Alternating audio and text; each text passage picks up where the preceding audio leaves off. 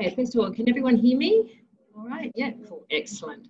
Um, thank you for attending this um, first of the, the series of four talks, and I hope you enjoy what I'm about to, to tell you. So today I'm going to take you through a journey that I began 30 years ago, and I can't believe that it's been that long already, um, investigating the ecology of little penguins. And the initial research was headed up by Professors Ron Wooller and Stuart Bradley at Murdoch University, and I'm affiliated with both Murdoch University and Uni of Western Australia, so that's why both of those uh, banners are there. Um, and the, the projects have involved uh, several postgraduate students, many, many, many volunteers that I cannot thank enough, and, um, and myself, of course. And so today I'm going to just take you through some of the information that we've learnt from the little penguins and I hope you find them um, at the end of this as fascinating as I do and indeed understand that penguins do fly, it's just that it's underwater. So they are birds. okay, why is this not? No, don't tell me it's not working. it's okay. Yeah, there we go. Okay. So um, I'm going to give, um, a, it's going to be a very fast but convoluted uh, story, unfortunately, today about penguin ecology. I'm going to be telling you about their breeding, their diet, their habitat use, and the threats. I'll give you an insight into some more recent research that I've been involved in, and then how we actually can use this to hopefully manage these penguins into perpetuity into the future at least. So generally um, speaking, I'm just now, the next few slides are going to be on the general biology of little penguins wherever they are found. And we do know that penguins are found on the southern coast of Australia and in New Zealand. And on the southern coast of Australia, they're mainly found on offshore islands. So little penguins are about 30 to 40 centimetres in stature. They weigh about as much as a litre of milk, so 1,000 to 1,500 grams. Males are larger than the females, and we've got a male. Oh, that one. No, I'm telling you all of my talk. back, back. here we go. Um, males here are larger than the females, so the males are slightly heavier, and they've also got a bigger beak, so we can actually tell males from females by the size of their beak. They have a very high site fidelity to their colony, so they'll actually return to the colony that they left from as a chick and they've got a high site fidelity to their nest site as well. And they do have a pretty high fidelity to their partners, but they do have this 40% divorce rate. And the reason why they, and we call it that, that's exactly a scientific term, is the divorce rate. And why they have a divorce rate is one, um, if obviously if a partner doesn't return, usually means that the partner has died uh, you know, from the previous breeding year. But if they've also not been that successful at breeding, then they'll actually try and change their mates try to get a better outcome with another mate.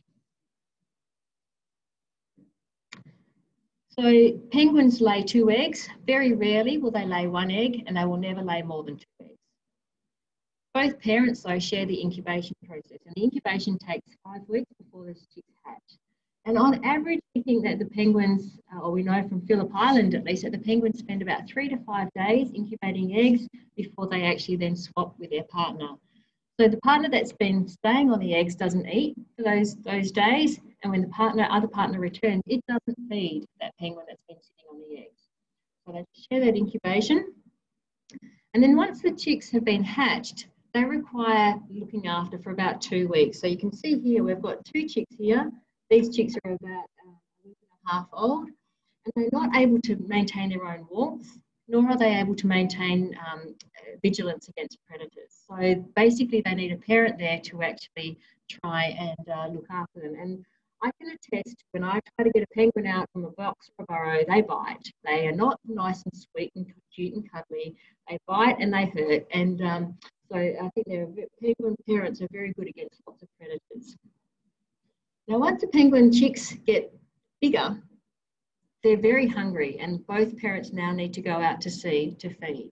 So both parents will go out in the morning, they'll come home at night, and then they'll feed the chicks.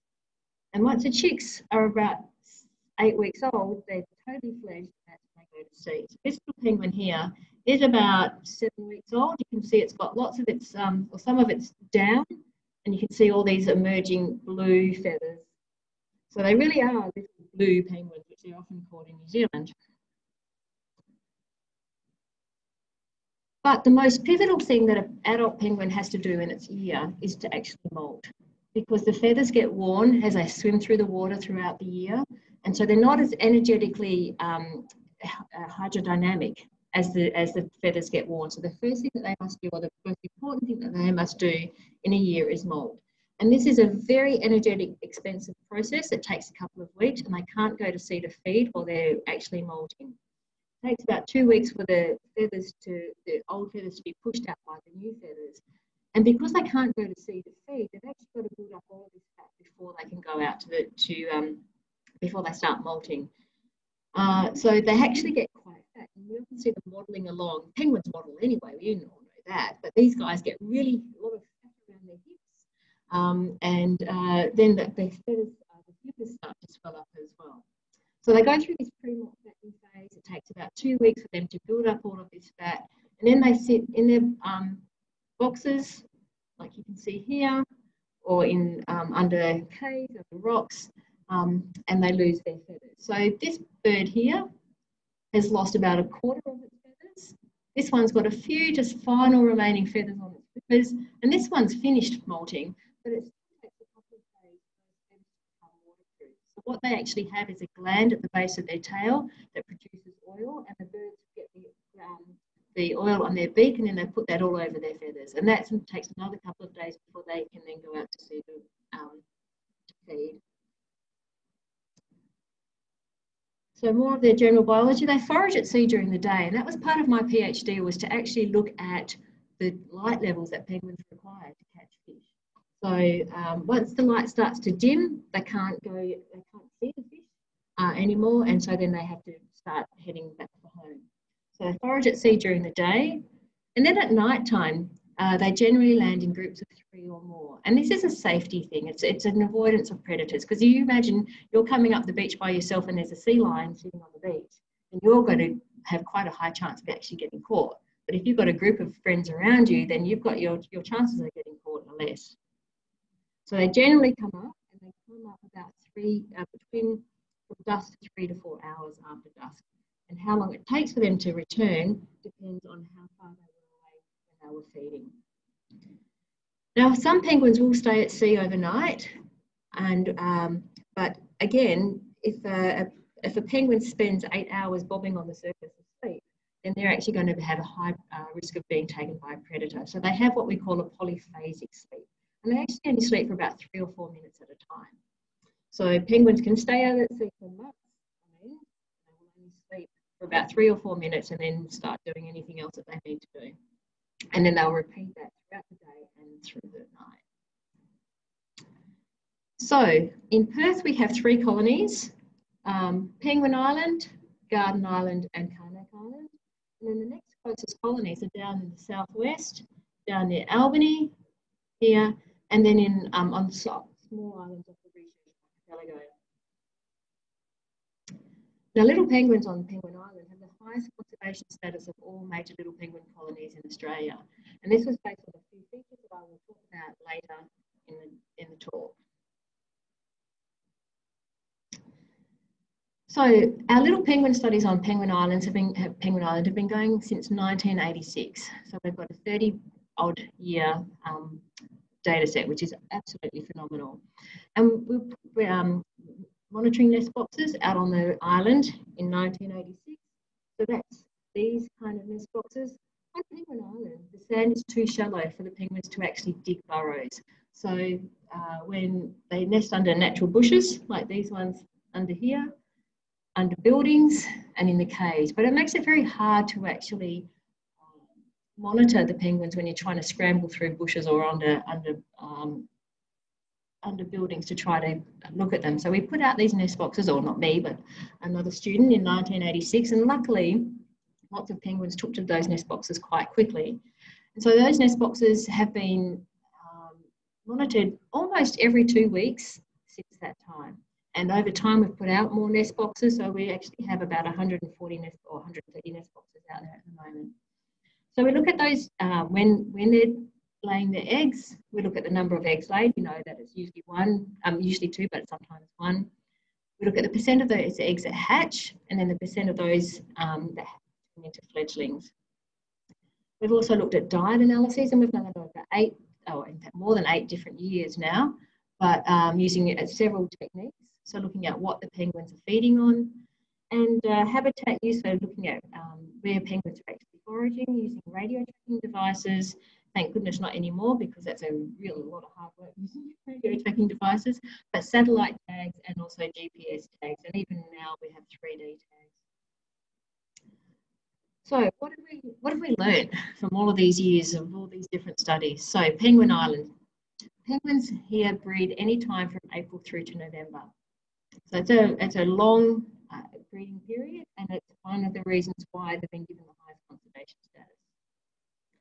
They can lay up to two clutches, and they can actually raise two, two clutches in a year if it's a good year. If food um, peak of egg lay is normally June to June and September, but that also varies from year to year. That's what our long-term monitoring is suggesting that it can be sometimes they can sometimes have a single peak in July, they can sometimes have a single peak in September, sometimes they have two peaks. It just varies. And these birds molt from December to February. Now, unfortunately for penguins on Penguin Island, molting occurs when it's the highest temperatures. We've got our summer summer temperatures, and as I said, they get they have to put on their fat, so they're already hot because they, they've got all this fat on them and producing feathers is a very energetic and, and exothermic, so it produces a lot of heat. So they're already hot and unfortunately they're, happening, they're molting at the time of the year when it's very hot and they've also got to contend with the highest number of visitors on the island. Now after molt, they leave for about three months, but we have no idea where they go.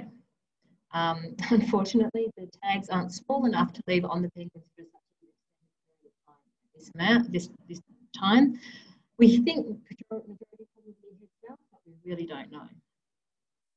Now, on a daily basis, they leave before dawn, um, sometimes as early as two or three o'clock in the morning. And I've heard that some of people who've been living on the island see, um, occasionally see like a lead penguin that goes around to all the other nests and says, you know, and they sort of all head out together.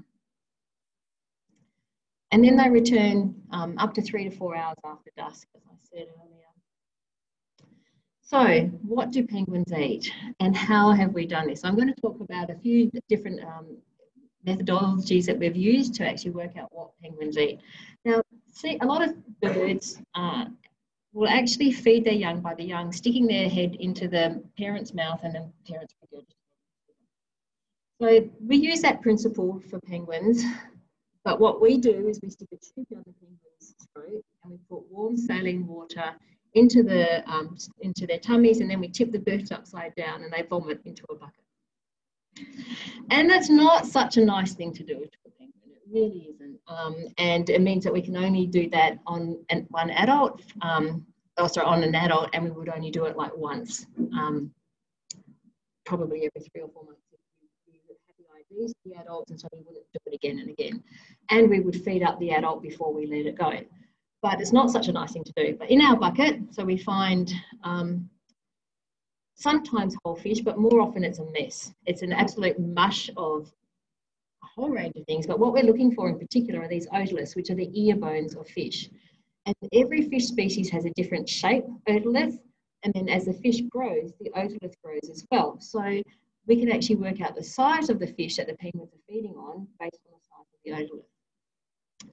But as I said, it's not such a nice um, and it's a lot of work catching penguins and them upside down and making them regurgitate. So we've also been doing some DNA analysis from feces. Now, um, normally when you pick up a penguin, they often poo on you. So, you know, I'll be seen sort of scraping poo off my, my pants and things.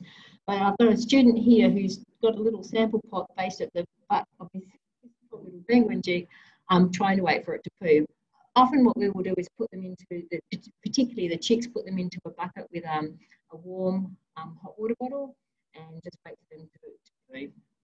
Uh, so we do the DNA analysis of feces. Now the good thing about this is that we've got it, we get a really big um, range of fish that the penguins are, or prey that the penguins are feeding on.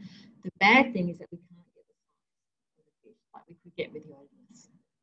And we also do stable isotopes of feathers. So this gives us information about what the penguins were feeding when they were growing those feathers. So for the adults, it's when they were molting, and then for the chicks, it's when they were growing the feathers as young chicks.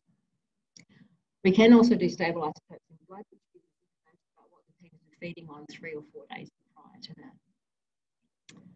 So what do we know? So from the, and this data here is uh, from the regurgitant analysis. So we know that they were mainly feeding on whitebait, blue sprats, oh, sorry, whitebait here, blue sprats, anchovy, garfish, and pilchards.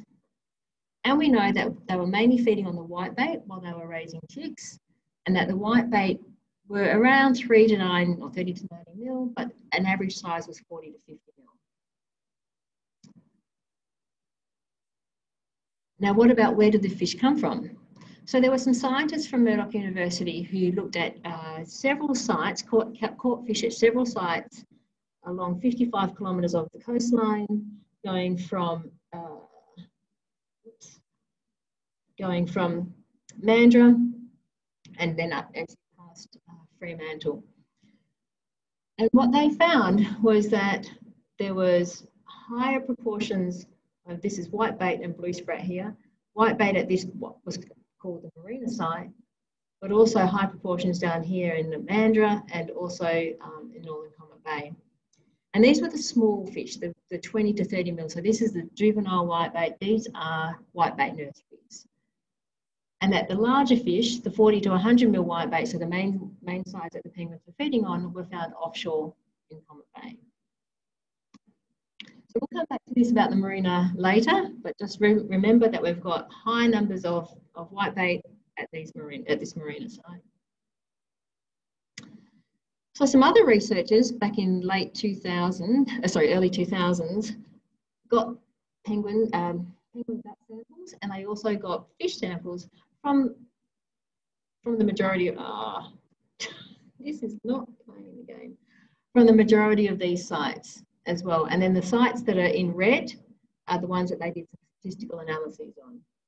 So what they found, what they were looking at is the ratio of oxygen and carbon in the otoliths, so in these ear bones. And they're a bit like tree rings, so that as the fish grows, it lays down another ring of, of bone in the, um, in the ears and uh, in the ear bones. And they have different, every one of those rings has a different ratio of carbon and oxygen. And that gives you some information about where the fish spent that part of its life.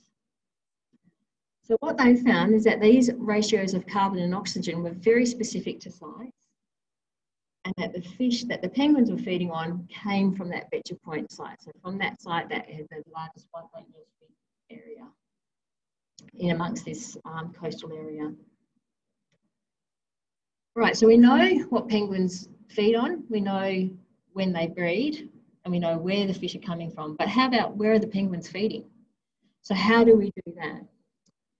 So for several years now, I've been attaching satellite tags here during incubation, and then GPS tags, and now more recently 3D tags during the uh, phase when they're guarding the chicks. The beauty with the satellite tags is that unlike when I was radio tracking and I had people set up at towers and listening for beeps of penguins, I can actually see where a penguin is almost in real time. The problem with the GPS and the satellite tags is that I can't see it in, on my computer, but I have to wait to get the tag back to be able to see that data. Good thing about the GPS tags, the 3D tags, is it gives me much greater um, and finer scale of movement of the penguins. So with the satellite tags, I get um, a location probably every two hours. With the GPS and the 3D tags,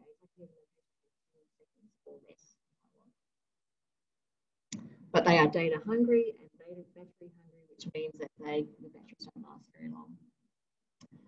So, and everyone always asks, how do you attach a tag to a penguin?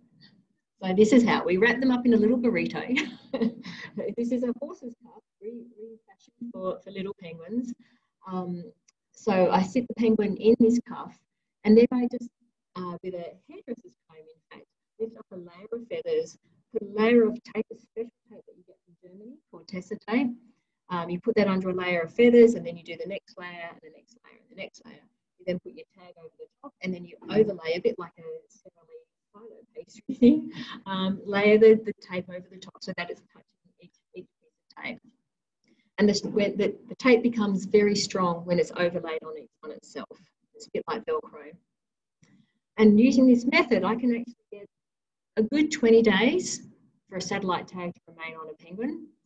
Um, I can now get more days uh, by putting on a cable tie and then just putting a touch of glue on. And you want to try to get these back because they're expensive. Satellite tags are $1,500 each. The GPS tags are around $800 each. So they're expensive and you do lose them. You do expect to lose some, but you don't want to lose too many. And so this is what we found from the satellite tagging. So in fact, when I first put a satellite tag on, the, on a penguin, which was in 2007, I thought somebody had grabbed a penguin and put it on a boat because I did not think that penguins would go this far south. So, um, and then we find this very consistently year after year. So we've got penguins going into Cockburn Sound from Penguin Island, but heading down to um, past, Geogra- uh, past Bunbury to Geographe Bay and even as far south as Margaret River. Um, Bunbury is a very favoured spot for penguins, and this has been consistent across all the years that I've done um, this tracking. Uh, Binningup is, is important, Lake Preston area, uh, and Cockburn Sound. Now, the interesting thing that I found is that where penguins are nesting on the island depends on, um, really uh, determines which way they're going to go. So for those penguins that are on the northeast side of the island, they head north up into Cockburn Sound. And if anyone knows Cockburn Sound, you know that there's a causeway that goes across the Garden Island. They don't go under that causeway. They go along the west side of the Garden Island, up around the top and down into the Cockburn Sound. And for those penguins that are on the west and the south on the island, they head south. Oh, sorry, but the, the problem with this though is that instead of the three to five day incubation period that I said that a lot of penguins have, they're actually sitting at sea or incubating um, for 10 or more days. And in fact, I've had a penguin sitting on eggs for 20 days while her partner was at sea 20 days. So it takes a long time. It takes about two or three days for a penguin to travel this far south, and then they're spending days and days and days in this area, and then they're heading back to their, um, to their partner. That means that the partner sitting at home is not feeding, is likely to potentially abandon eggs. They can actually go out for a day, leave the eggs for a day or so, and then come back. But we've got a higher rate of abandonment when, we're, when the penguins are spending a long time in the southern areas. But this also shows us that Bunbury is a very important area for the penguins, as is Binningup, as I said, Lake Preston. And so potential impacts can occur for these penguins anywhere along these areas. Okay, so but what happens when they're guarding chicks? When they're guarding chicks, they can't stay out for 20 days. They've got to come back and feed those chicks every night. So if I can get this to work. This is a tag uh, or movement of a penguin with a GPS tag on it.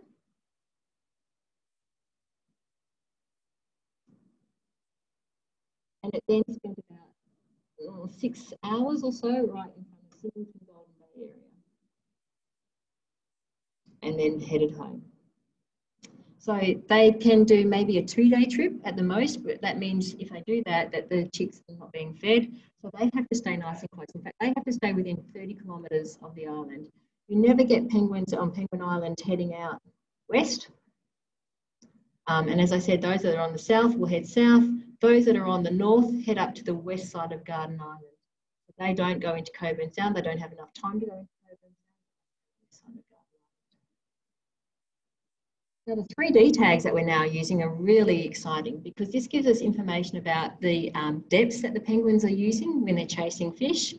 And it gives us information exactly where they are chasing the fish as well. So you can see here we've got three different types or uh, two types of dives and some surface types. So we've got what we call a W-shaped dive, and this is where the penguins are obviously bouncing around and um, they're finding fish and they're going up and down in the water column. Then we've got some time that the bird spends on the surface. And remember that, we time on the surface, we'll come back to that.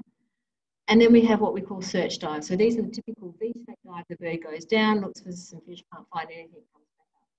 Now, penguins can dive up to 150 times an hour. So they're out there, they're working hard. They're doing a lot of energy, uh, a lot of expend expenditure of energy, working really hard, but how often they um, dive will depend on how deep they're diving as well. So some birds tend to be more shallow divers, diving in the top four to five metres, um, and others are diving the full depth of the um, bathymetry in, in Cockburn Sound and Bay down to 16, 20 metres. But not only do we know what when the penguins are feeding, we can work out um, how much energy they're using and what they're doing in that space. So the flipper beats here are in the black, and we've got um, the pitch, so whether the penguin's heading down or up in the red, and the blue is actually whether they're rolling. So um, we, we can find out that the penguins are, are beating their flippers as they're going down in the water column, and that's because they've got to overcome buoyancy. And then they don't they don't beat their flippers as they're coming up, as they're ascending, because the, the buoyancy just brings them back up to the surface. And we can start to actually look at um, the energy that they're using at different times of the day and in different um, depths of water as well. So knowing all of this information, knowing when they're feeding, where they're feeding, what they're feeding on, when they're breeding, when they're traveling, all of this information now starts, um, starts to give a picture on what the penguins are threatened by and what um, the different potential threats mean. So for instance, a reduction of food availability. Now, if you've got limited food, you're not going to have enough food feed your chicks, so your chicks are potentially going to starve. If you've got limited food at the beginning of breeding, you don't have enough body condition to actually start to get to move into breeding. And so penguins will not even um, move into that breeding phase because it's more important for them to survive, which means that they probably have to go somewhere else and try to find food for an extended period of time. If you've got less food and your chicks aren't as, as fat, then they're more likely to die as well because penguin chicks um, have a much higher survival rate if they're a very good size when they leave the, the nest. For part of my PhD, I actually looked at how little penguin chicks or juveniles did when they uh, before they'd been to sea it, how, how they did at catching fish and they're really bad at catching fish first up. They try to um, eat leaves, eat bubbles, eat bits of sand. Um, they don't know anything about their buoyancy when they first hop in the pool and so in the water, and so they're actually overshooting the the buoy the um the surface of the water. And it takes them a while to learn those skills. And so the fatter that they are at the beginning, the better the chance they are of surviving because then they can make all these misses of catching fish and other prey or take, totally take the wrong thing, and then they can they can wear that through.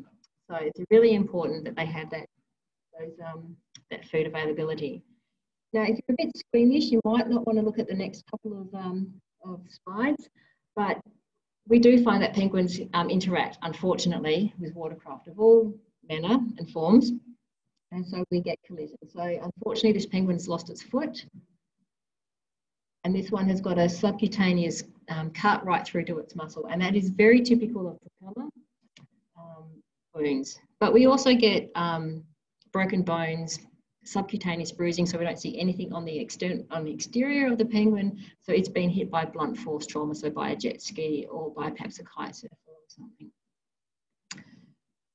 But the other thing, as I said, is um, you might recall from that diving, uh, that 3D diving graph, that penguins spend time on the surface. And that surface time is very important for them to, re, um, to reduce the lactic acid in their muscles and to get the oxygen into their uh, bodies, but it also allows them to digest the food. And what we know is that penguins who are feeding chicks catch food for themselves in the morning, and then they digest all of that, and then they're catching food for the chicks in the afternoon. So they need that important time on the surface, and they spend longer on the surface in the afternoon than during the morning. But boats, watercraft, all sorts of craft can actually interrupt that time surface.